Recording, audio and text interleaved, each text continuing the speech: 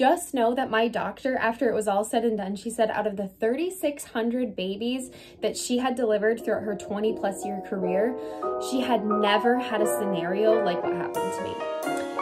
So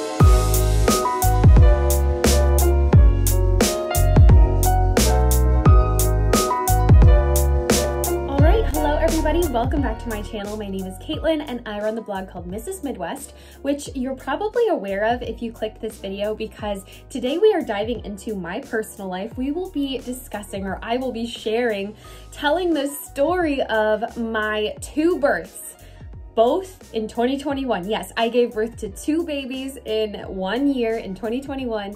It was the craziest thing that has ever happened to me, but the Lord sustained me. He brought me through. I'm only a little over a year postpartum from my first baby and I've already had a second one and everybody's healthy. Everybody's doing great. I've been debating. I've been debating for a long time sharing my birth stories. It is a difficult, negative kind of birth story. It, it gets a little scary at times, and I really didn't want to scare any pregnant women. I didn't want to scare first-time moms, but the more I've thought about it, the more I realized that it's good to have a variety of birth stories online because the truth is most of us, most of you, um, pregnant women, women who have not yet had kids, women who are still having kids, you're going to have a great birth. That's pretty standard and straightforward. Um, it's, it's going to be beautiful and not scary and you'll be fine. And going into this, just know that my doctor, after it was all said and done, she said out of the 3,600 babies that she had delivered throughout her 20 plus year career, she had never had a scenario like what happened to me.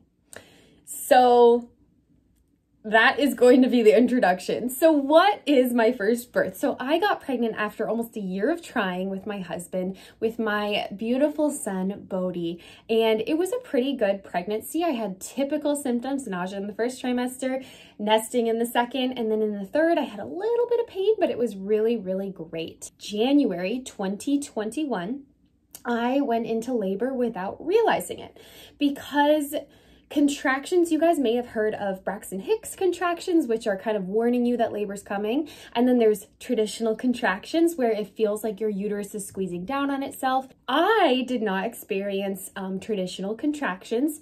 I just had upper back pain. And so what happened is I was getting, I was two weeks away from my due date. I was 38 weeks and I started having upper back pain and I could not get comfortable. I couldn't get comfortable lay laying down, laying on my side, sitting, reclining. I just could not get comfortable. And what I had thought happened is because I have mild scoliosis, I thought with my really big, heavy baby like hanging off the front of my body and I was at the end of pregnancy, I, I started to think, oh, well, maybe my back's just giving out. Like um, I had been warned that pregnancy with scoliosis can sometimes be difficult. So I thought, okay, maybe, maybe it's just my back, I don't know. But then after a couple days of that, like where I could barely sleep and I was just lounging around, it was horrible. I started to notice a little bit of more liquid than usual, if you know what I mean. And it wasn't like the movies, you know, in the movies when people's water break and it's just like all over the floor. And oftentimes if you if you know anybody who's given birth, sometimes your water doesn't break at all and the doctor breaks it for you or whatever. What happened to me is called a high leak water rupture. So it's where you get like a small breakage in your amniotic sac where the baby is. And so you're leaking amniotic fluid, but it's just a slow trickle. So you kind of like don't realize that your water has broken. And so all those factors combined, I had about like a day and a half with that. And I started to just think this is weird. So I called my doctor's office and they, they were like, oh my goodness, you need to come in. We need to check to see if that liquid is amniotic fluid or if it's just normal pregnancy, like getting ready for birth. Um, and while you're here, we'll do a non-stress test and bring your hospital bags. Oh, okay, it's time. And I guess you could say my mindset going into the hospital was excitement. I just felt like this warrior mindset. I was made to do this. I'm a woman. Like I wasn't scared. I wasn't scared of birth, which really surprised me because growing up, I was really scared of birth. I never wanted to watch any birth videos ever. I never wanted to even hear people's birth stories. And I was excited to meet my baby. So we pack up the bags, we go to the hospital and they get me into like the OB triage where they check the fluid and they run labs on it to see if it's amniotic and then they check to see if you're having contractions. And I was like, there's no way I'm having contractions. I have not felt anything in my uterus. But lo and behold, we get the test back. They hook me up to the monitor to read the contractions. And I was having contractions and I was already dilated too. They checked that. I was having contractions, I think they were five or four minutes apart. My baby was occiput posterior. Usually, the baby, you want their back to be facing the front of your belly. So their face and their hands and their feet are all like towards your spine. And that makes for the best exit out of your body. And what happened with me and Bodhi, his face and his hands and his feet and all of that were facing the front of my stomach. And that's called occiput posterior and it can cause severe back labor. And so I was going through back labor and with a posterior baby, your labor is usually sometimes multiple days before the baby descends. You're kind of in for like a longer birth experience. They got us into the room and I labor throughout the night. And around 7 a.m. the next morning, you know, I'd been laboring all night. My contractions were getting a lot closer together. I had dilated a little bit, but I was feeling really exhausted because I hadn't realized it, but I had been laboring at home with that back pain for multiple days. So by 6 a.m. the next morning, I was just exhausted. I wanted the epidural, um, but the epidural didn't end up working. It didn't like set in correctly or something. And then the anesthesiologist was busy all day with other emergency C-sections and stuff. I guess it was just what you call a failed epidural. So I continued to labor and I finally dilated to a 10. Like I was ready to push active labor, let's go around 1 p.m. And so 1 p.m. we're ready to push. I'm so excited. My doctor comes in, we do some practice pushes, and then she got pulled into an emergency C-section. There was a woman who had attempted a breech home birth and had gotten transferred to the hospital. So they had to attend to that person because her baby's life was on the line, as was her own. You know, they stuck me with a nurse midwife and I wasn't super comfortable with that. I really, for my first birth especially, wanted to be with a doctor. But I was like, you know what? We are at the pushing stage. We are in active labor. It's just going to be hopefully less than two hours and I'll meet my baby. Um, and things did not go that way. What happened is in active labor with pushing, we we pushed and we pushed and we pushed. And like I said, my baby was OP. So he was in a non-ideal um, position. So with the pushing, we tried different positions. We tried me pushing with like a peanut ball, like it's kind of like a yoga ball. We tried standing, we tried all fours, we did a birthing stool, one leg, one up, one down. And and one hour goes by and then a second hour goes by and I am exhausted. Active labor, pushing, laboring for a few days, no sleep the night before, and I start vomiting. And I did not want food when I was laboring, and I'm really glad I didn't eat a lot because I just started vomiting like all the liquids that I had taken up. So I think, yeah, about an hour and a half, two hours into pushing, I just started puking everywhere. And I start to get kind of worried, and I'm like, where's my doctor? I don't know. I just, I need to take a break. And this was a moment that I wish had never happened to me. The nurse midwife and the nurse, I started to be like, I need a break. I don't know if I can do this. This is just not working. Something's wrong. Something's wrong. I, I don't know what's going on. Why am I not making progress? And they just kind of like came up into my face and they were like, you can do it. Your body was made for this. Don't give up. You can do it. And I didn't realize this till later, but that moment was extremely traumatizing to me because I was doing absolutely everything I could have done to push that baby out. I was open to absolutely any advice on what position was going to help him, you know, get down the canal. And he was just stuck. And it was, it started to become so painful because he w- he was kind of making his way down like a little bit and and but not like he he wasn't like getting pushed out. And so the nurse midwife is like, okay, I have one more position I want you to try. Um, this got another woman's sunny side up baby to flip. So just lay back. So I laid back on the bed and it was a birthing bed. So those like hospital beds, the bottom half like can lower so that everyone can get at you like when you're giving birth.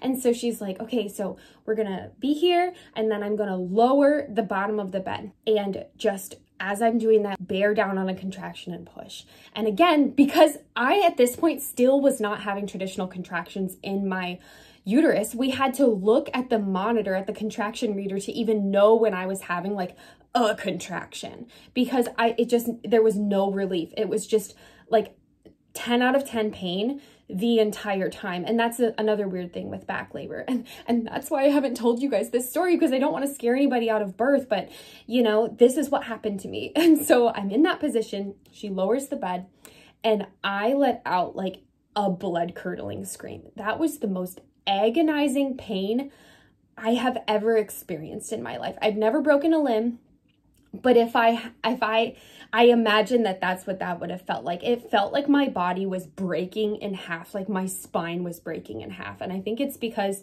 where she lowered it, like my baby was so jammed in there and my back was so on fire and then lowered the bed and it like further caused pain. And that was my limit. No, I'm not pushing anymore. Get away from me. Something flipped in my brain where I just suddenly felt, before I was like so focused on the baby. Let's have this incredible experience. But after that severe pain and not getting any relief from pain for hours and hours, and and also no progress no progress at all. I just yeah something broke in me and then i i feel like i went outside my body into a survival mode. And i remember they they came up to me they're like you're okay you're okay. We'll, we'll just take a quick break and then we'll keep going. And i remember like clawing up the side the guardrail things on the side of the hospital bed clawing up away from everybody and sobbing and screaming no i can't like i, I need a break. I can't do this. I want to see my doctor something's wrong I need pain relief, anything. and I just said, I will not push anymore until I get an epidural because like I said, I was getting no breaks from the pain. It wasn't traditional labor. It wasn't like breathe through it and then take a, take 30 seconds off and then breathe through it. It was just like a 10 of pain. And then with these added positions to try to get Bodhi to flip, it was like an 11 or 12 out of 10 of pain. And so I, I, and again, I kind of started to just not be myself. It shifted and I just started, it, I, it's not like I forgot about my baby, but all of a sudden survival was like the top of my focus. I need to survive. And the number one priority in that moment I had was like pain relief, like get the baby out or give me an epidural and I'll get him out. Like I just needed some sort of solution so I could keep going. And like I said, the anesthesiologist and my doctor were wrapped up in emergency C-section. And so it was just like a crazy day um, in my hospital. And I had originally chosen my hospital because it was low intervention and they were super baby friendly, mom focused. Like I said, laboring in the tub, moving during labor. If I had wanted to eat during labor, I could have. And all these different positions, and I wasn't hooked up to machines. I could like freely move. And all of that is great when you are having a traditional, healthy, straightforward birth. But when something takes a turn like it did with me, I wanted nothing more than my doctor. And I wanted nothing more than medicine at that moment. And so this is kind of the part I w- I don't want to say blacked out, but I definitely, it's blurry.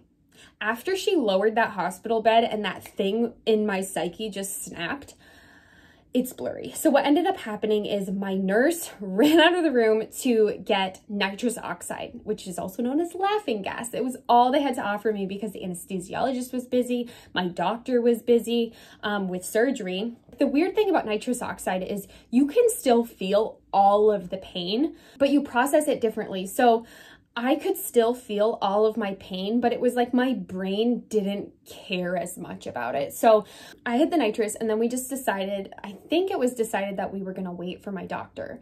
And we had sent the midwife, we were like, hey, can you, the nurse midwife, hey, can you please go let her know that we are stalling, that this isn't working, the pushing is not working, we want a second opinion, we want her to look at things, um, we need help essentially. So I'm hooked up on the nitrous and the next chunk of this story is my husband's perspective because I could not give you a play by play of those next couple hours if I tried because it is so blurry. I kind of don't even remember it. I was so disassociated with myself, my body, the situation. I had completely forgotten about the baby at that point. I just felt like I was dying.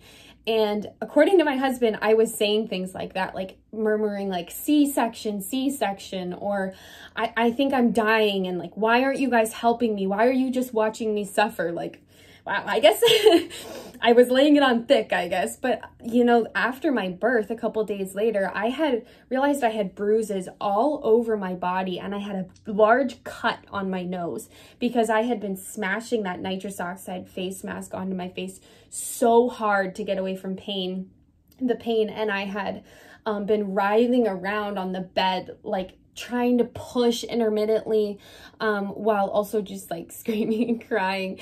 And I know this just sounds so dark and like this is why I have not shared my birth story, but please know like this is not common. This is not common. And so I was just pushing and pushing and pausing. And I, uh, my husband said too, I would have moments like every like so often where I would look at the I would like open up my eyes with the mask and I'd look at him and her, my nurse, and I'd say, I'm gonna push this baby out. And then I'd like give it like a bunch of pushes and nothing.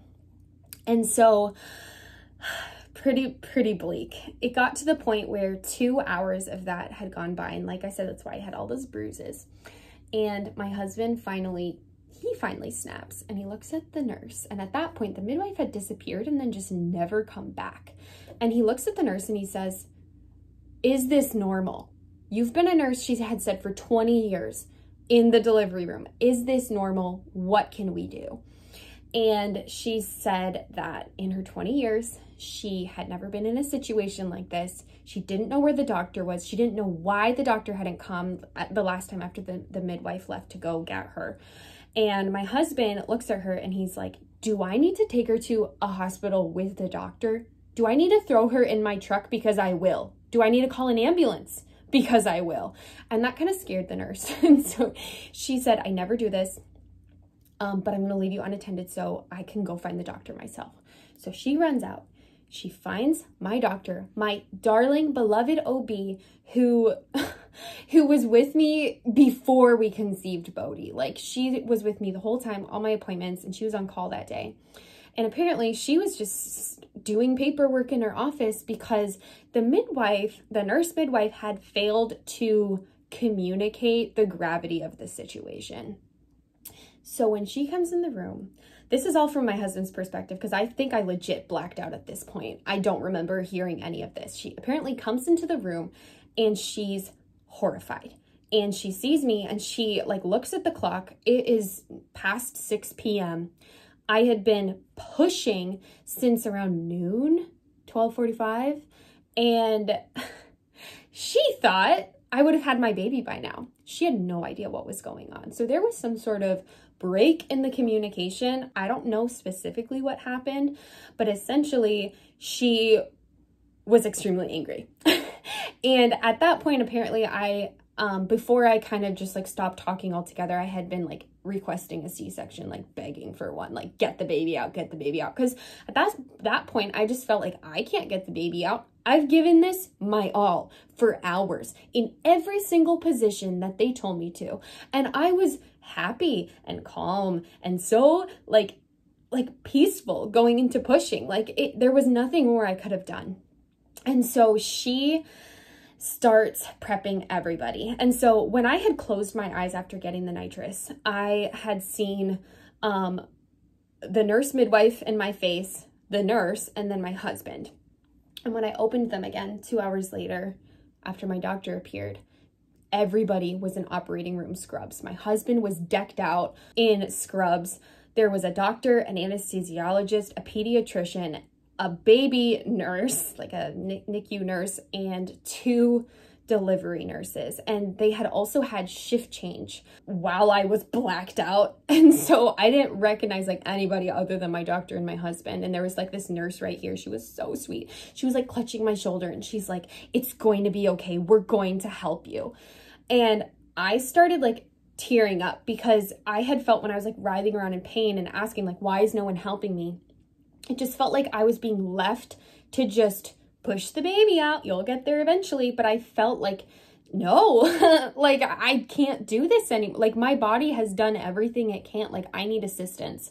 And like I said at the top of this video, most women don't need assistance in birth. Like they, they will just push the baby out, you know? This is very rare. And so they, um, I still had my nitrous and the anesthesiologist was like prepping things for the C-section. And he, someone had like propped me up and taken my hand to sign the consent form because I was so just like couldn't move essentially because I was still in pain. I was still like mentally blacking out at that point. I, yeah, I had completely forgotten about the baby and it just was about like, how am I going to survive this day? I, I feel like I'm dying. And so someone had me sign the consent form. I get the spinal and I cannot tell you guys how much of a relief it was to be numbed from that, from that pain. Um, I was I I was so dramatic. I guess I had looked at the anesthesiologist after the numbness started spreading, and I said like, "Where were you? Where were you all these hours?" And I was like crying. And so they got the spinal, and then I hear my doctor. I hear her say to somebody else, "I feel like I could vacuum him out. I see his head." And I heard that, and I paused and I said, "Do it, vacuum him out."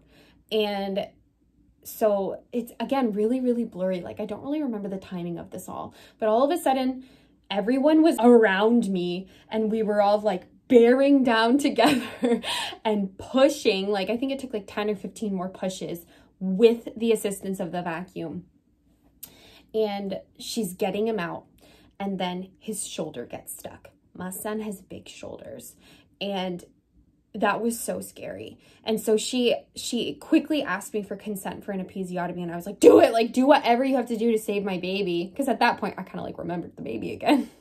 because I had gotten the numbing and I was like back on focus like we're giving birth. And so they um she does the episiotomy, they get him out, they whip him up on my belly. And I'll never forget the first time I saw my son, it was the back the top of his head was facing me and we had we had planned on doing delayed cord clamping, um, golden hour, all this stuff if you've given birth or looked into birth plans. Like it's just so lovely and beautiful, these birth plans. Um, but we didn't get to do any of that because he they lay him on my belly, my deflated belly, and I remember seeing him like bounce like this and hit the whole top of his head like he was gray and the whole top of his head was like it was it was like he was scalped almost it was so, like I'm gonna cry thinking about it.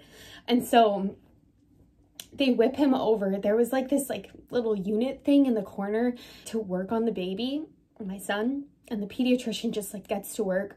His APGAR score was really low, which is like how they measure how alive your baby is essentially, like breathing and all of that. And he didn't cry right away. But I had given it all. And at the time, my doctor was furiously sewing me up because I had, I had almost started to hemorrhage. She was trying to prevent that. And then he cried. And I, I don't remember the next moments. Like, everybody just left the room at some point. Like, I remember someone mopping up the blood. Like, when we got home a couple days later, I, like, noticed there was, like, blood on the bottom of my husband's pants and like I was shaking so much apparently like whenever someone offered for me to hold my son like I was just shaking from all the from the spinal medication and I just said like no like give him like I want him to be with his dad because it felt like I was so broken like it felt like I was so broken in that moment like I just had to come back to myself before I could be a mother to my child. And it felt like he would be safer with my husband. And at the time, too, I didn't quite understand what had happened to me. So I thought it was my fault. Like, I thought my body had failed me. And I really, like, believed a lot of that, those birth posts where it's like, your body was made for this. Women have done this for thousands of years. Instrumental like medicalized birth is bad and like all this stuff. So i thought like i had failed my baby and i felt like a horrible mother.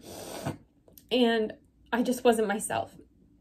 And it wasn't until i think 24 or 36 hours later in the hospital where i kind of came to i got food and sleep and i held my son and we nursed and did skin to skin. It took a while after after the birth to feel better. And then I was just so shell shocked and we went home and it was just really, really hard, really hard on me.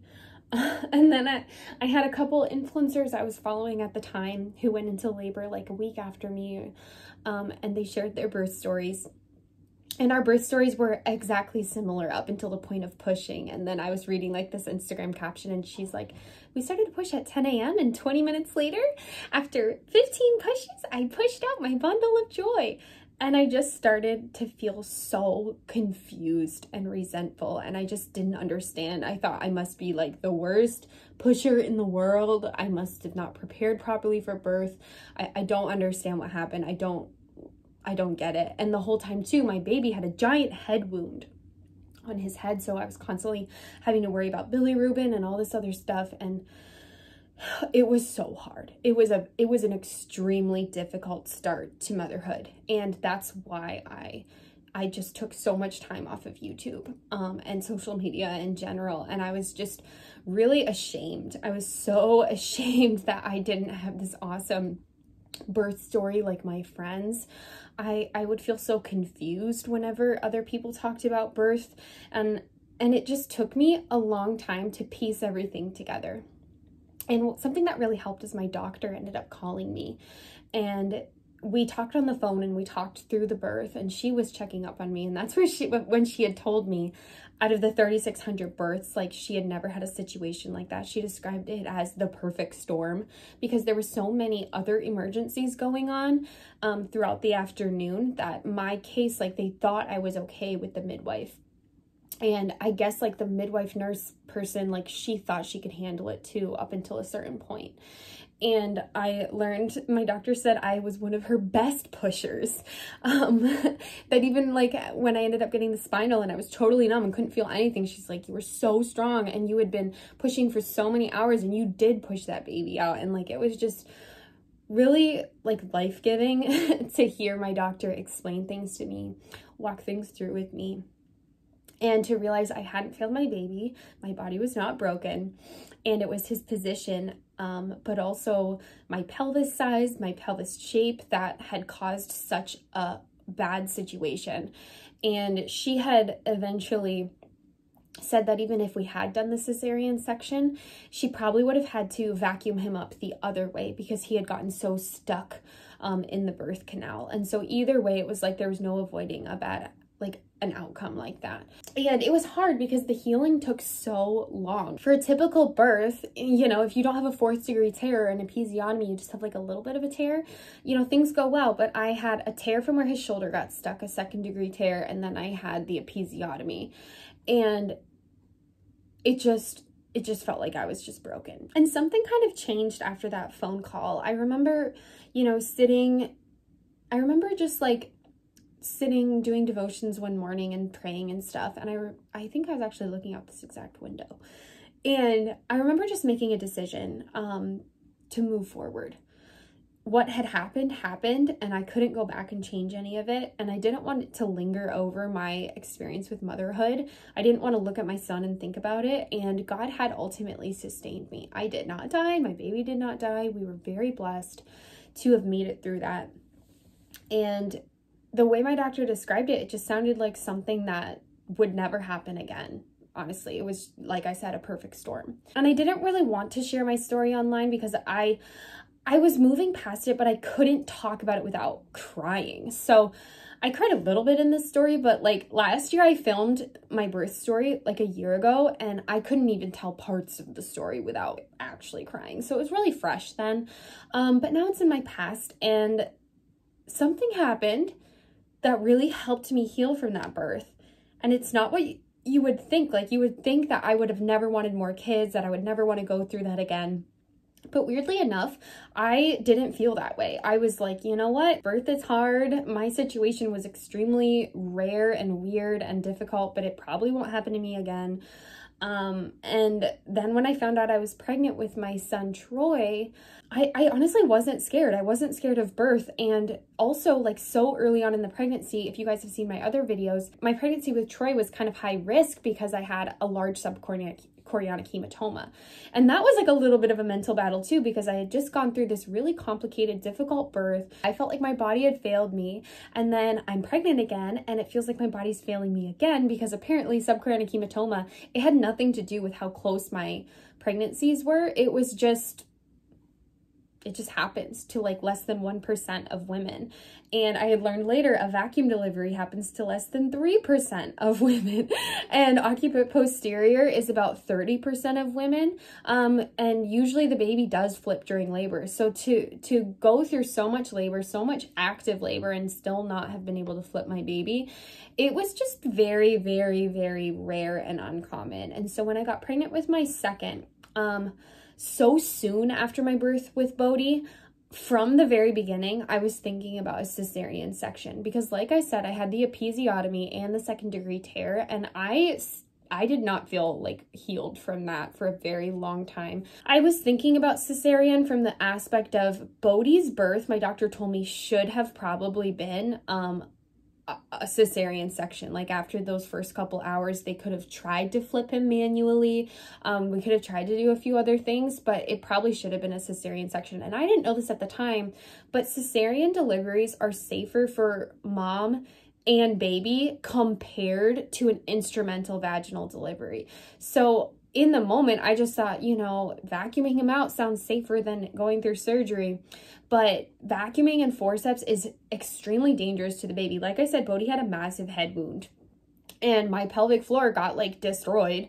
And so um, I learned later, yeah, it's about 30% negative outcomes for mom and baby with instrumental delivery. And then it's 12% negative outcomes for cesarean and then six for like a normal traditional vaginal delivery. And so going into my pregnancy with Troy, I just decided I will not have another vacuum delivery. Like I was open to delivering vaginally, but I decided if he's occiput posterior again, um, I want a C-section for positioning.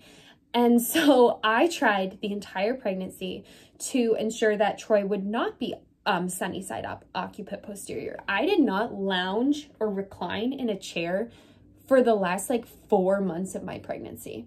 I was always in the ideal position. I did all the spinning baby stuff and it's really, really rare to have um, your second baby also be posterior. It, it happens oftentimes to first time moms or maybe one of your babies will be posterior, but it's really rare to have more than one. And then we were talking about everything, and I was talking about like the outcomes of what a vaginal delivery would be like so soon after Bodhi, because you're not really supposed to get pregnant that fast after um, after birth. Like you're supposed to take time so your body can heal. And that was always the plan, but God had other plans. And because I was pregnant so soon after, I was extremely concerned about my physical health and um, how a second birth within 365 days would affect my body. And so my doctor, you know, we had made the decision to try for a natural delivery if the baby wasn't occiput posterior. And then she or even if he was posterior, like still kind of try. But then she informed me like you will tear front to back, which if you know what about birth, you know what that means because of my episiotomy. And I had healed apparently like perfectly for my episiotomy. Everything was looking really great. I was really feeling on the up and ups with everything. Um, after about like four or five months after Bodhi, like things were feeling really good. And just the idea of going through that recovery again um so soon after Bodhi and potentially like really ruining my pelvic floor. Like a week out from birth he's OP I'm still doing spinning babies. I'm still doing everything. And he's not changing positions. And so we're starting to think like okay maybe it's just like how babies are in your body Kate. Like that's just how they settle. And I had accepted it. I was like, okay, so either I'm going to go into spontaneous labor or we had scheduled a cesarean um, a couple days before my due date. And I had come to peace with it. I listened to an amazing podcast from an OB who got who like went through every detail of a cesarean so i'll link that below so i knew exactly what to expect you know c-sections honestly aren't the ideal way to give birth if i had the choice between a c-section and a non-complicated vaginal delivery with no tears or maybe a first degree tear, I would pick that. Um, but in the choice of a vacuum delivery or an occiput posterior baby and a C-section, especially like a guaranteed tear front to back, um, I decided C-section and I have zero regrets. Like I said, the baby's already here. So you know what happened. You know where this story is going. So I ended up going into spontaneous labor at 38 weeks, two days, which was actually the day after Christmas. And it was funny because I had said, I had been praying and I was like, oh, God, you don't have to like do this for me. But I just really would love to have Christmas with Bodhi, be there for his first Christmas. I don't care if the baby comes later that day. I don't care if he comes the next day. I just really want to be there and not in the hospital um, on Christmas Day. I was not looking forward to being in the hospital away from him. That was really factoring in in my decision of whether or not to do a cesarean what because I knew that I couldn't lift Bodhi for a longer time than if I had a successful vaginal delivery. And I also knew my hospital stay would be longer, so I would be away from him longer. But the closer I got to birth and the more I felt just like this growing concern for the health of my baby and the more I just really rem was remembering that giant wound on Bodhi's head from the vacuum and the hours of of mental and emotional agony that really set me up for a difficult time postpartum like emotionally and for bonding I decided like I, I just I couldn't go through that again. I couldn't go through that again.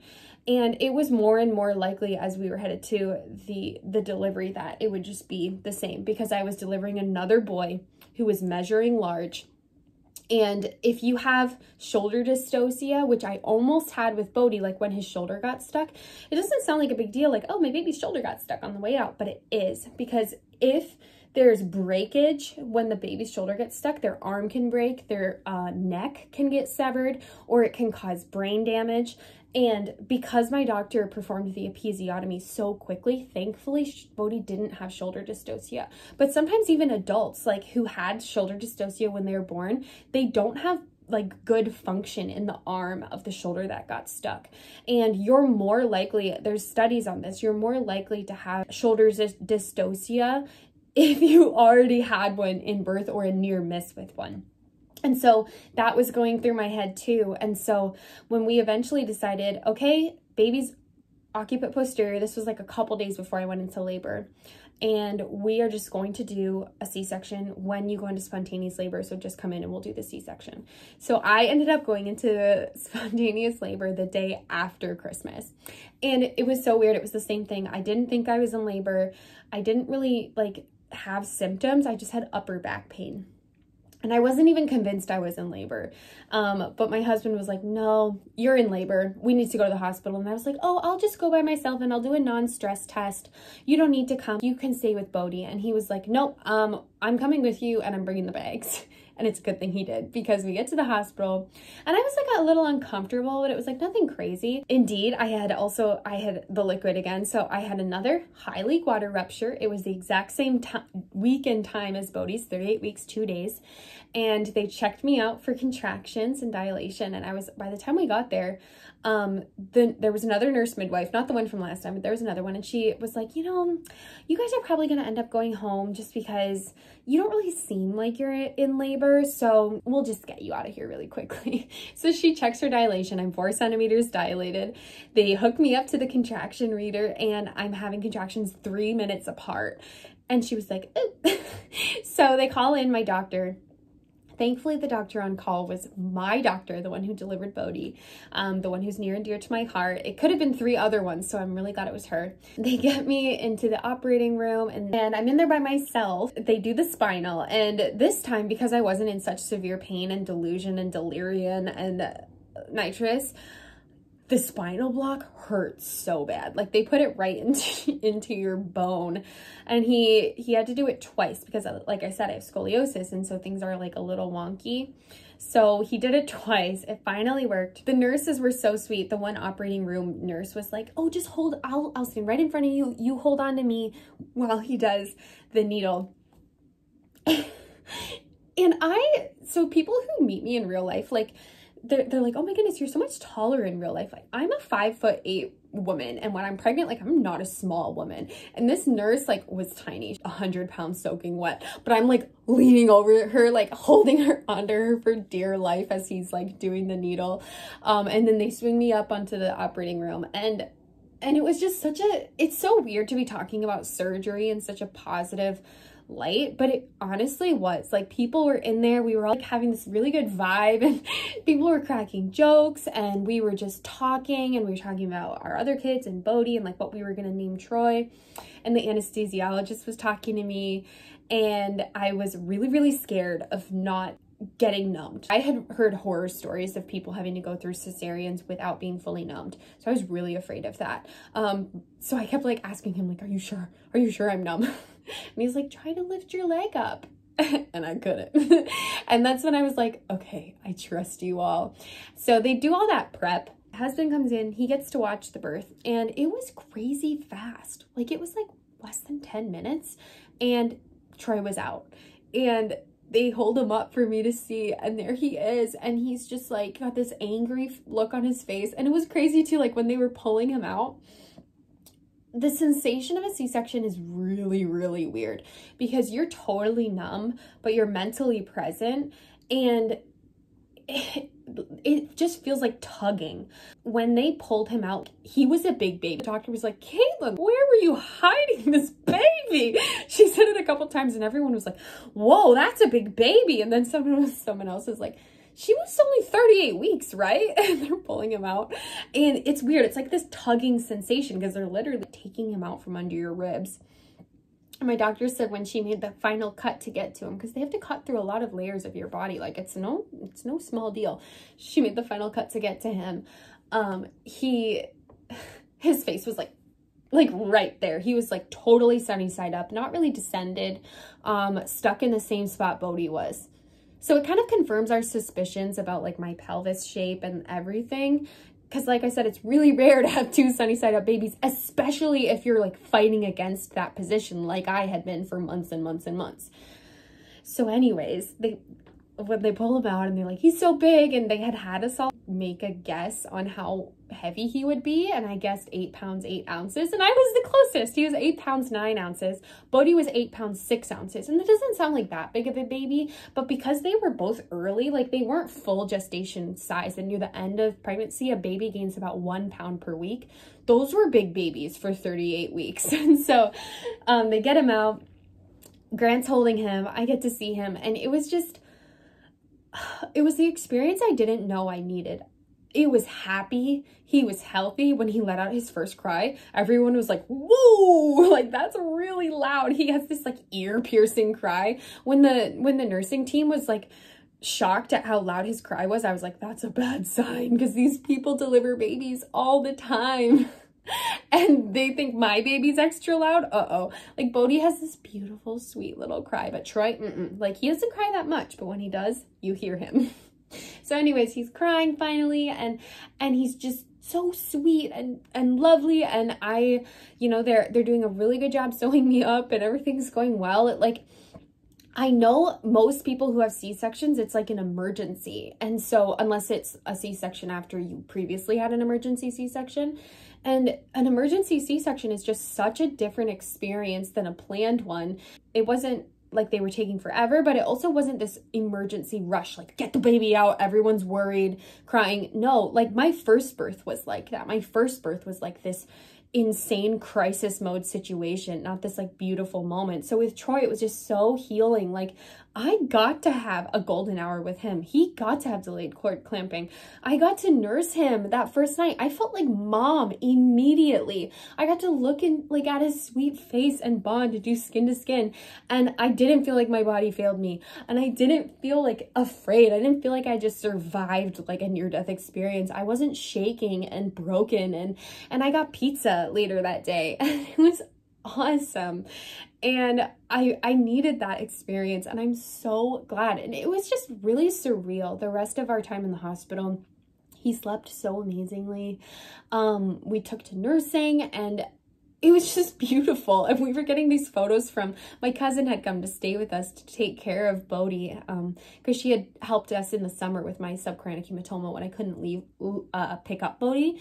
So she was sending us photos of him. And I had said to Grant, it was like seeing the photos of him was hilarious because it was like when you get photos of somebody who's on vacation where they're just like, oh yeah, wish you were here too, but they're so enjoying what they're doing, they like kind of forget you exist. That's what Bodhi looked like in the photos. And I had been fussing for months and months and months, worried about leaving him overnight, worried that he would miss me so much, worried that he would be distraught. And then here he is just having the time of his life with my cousin. so that was a huge relief. We, I could really be present with Troy because Bodhi was so well cared for. And my cousin, because Troy came two weeks early, she, we had asked that she stay with us um, for two weeks after my due date to help because I had the cesarean and those are, you cannot lift like a 22 pound toddler. And so we had booked her flight for the middle of January and, but because Troy came early, we got her for like an extra week and a half. It was awesome. So we kind of just settled into life and um, it was just so good. And Bodhi adjusted really, really well to his brother because he's so young. He like kind of doesn't understand. He wasn't old enough to be jealous. He wasn't old enough to even realize Troy was a competing sibling. so it was just beautiful. And through that experience, I feel like I healed a lot in the sense because it wasn't the medical like birth side that I really wanted. Like I know a lot of people sometimes have a traumatic birth and then they go the other way. Like they want to do things more natural. They want to do things at home, like away from the medical system. But, but because I felt like with my first birth, I needed a doctor sooner. I needed help faster. I needed help quicker, not less doctors or less interventions. Um, I felt like so good with Troy. Like I felt so safe and and having to have a postpartum experience where my newborn was healthy and didn't have like a ginormous head wound on his head. He was just whole and perfect. Like it was so good because I can't, I just can't explain to you how painful it was as a mother to have this like wounded little baby. And that was his first like, welcome to the world. Like here's this giant injury and I was so injured and everyone was injured and, and sad. And then after Troy, it was insane. I healed quicker from my C-section than I did from my vacuum delivery because pelvic floor healing is is no joke. Like it is so painful. And so three and a half, four weeks after Troy was born, I was lifting my 23 pound toddler, walking, my incision didn't hurt anymore. But I do have to say that first week, I was like, oh man, this is painful. C-sections are not an easy way out um, as far as healing goes.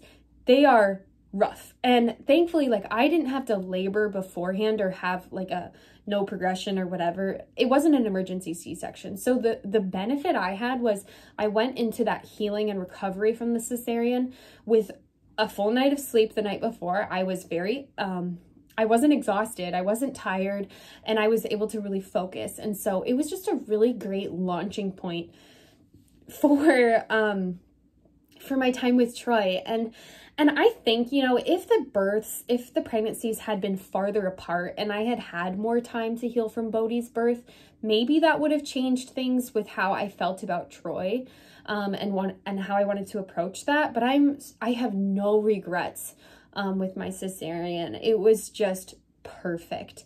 And it was like, it was just what I needed. And I, am just so grateful to the Lord that everything went fine. And I, I was really disappointed when Troy was um posterior sunny side up because I was like no like I'm I I want to have a normal birth you know um but I think that this was meant to be and I I just, I felt so much peace with it. I, it's hard to make these decisions, these medical decisions. It's difficult to make like life-changing decisions. And I knew it was the right decision because everything was pointing towards that. And it felt like the safest thing for my baby. And at that point, like I would have rather taken on the difficulty of recovering from a C-section, like recovering from a hard like surgery, than have to watch my baby potentially recover from something like what Bodhi had to recover from. That was just the worst. And and even worse, like Troy could have had shoulder dystocia. Like it's actually pretty likely. Um, and I also didn't want to go through all of that pelvic floor healing. Like I had made such progress. I didn't want to put myself like two steps back because I had only healed from it like maybe seven months before I gave birth, like fully healed. And so that is Troy's birth. You can probably tell like how happy I was. Those are my birth stories and it feels really good to share these with you. And I just want you to know what happened to me again is rare, but to anyone who has experienced some sort of birth trauma, your body didn't fail you. You're not a failure. You're not a bad mother. Women who can give birth in two hours home or have a healthy, easy birth at the hospital, you're not less than those people because that just wasn't in the cards for you you know? I i actually think my births they did bring me closer to my husband the lord and they were humbling in a way to just be reminded of the fallibility of our bodies. We're not in heaven. My body is not perfect and and i shouldn't have to expect that of myself you know? And so yeah that's my story. I'm sorry this was so, so, so long, um, but two birth stories in one video is a lot to get through. So thank you for watching. If you're interested in more of this kind of content, I have motherhood content and I have vlogs where you'll get more of my personal life.